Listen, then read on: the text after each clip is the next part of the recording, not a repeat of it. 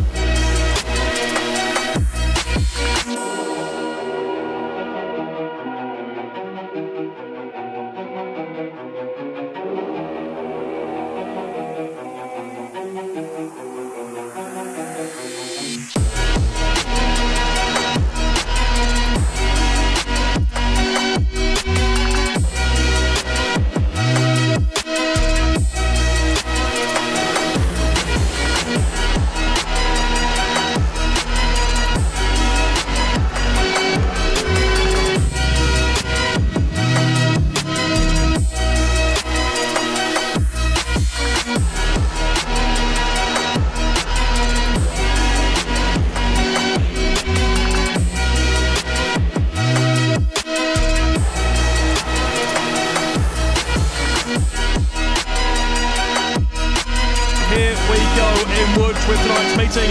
Grand final. Away they go. What a start by Kubera from gate three. And what a run by Kołodziej from the outside. A fantastic victory for Yellow's Kołodziej in Łódź. What a grand final.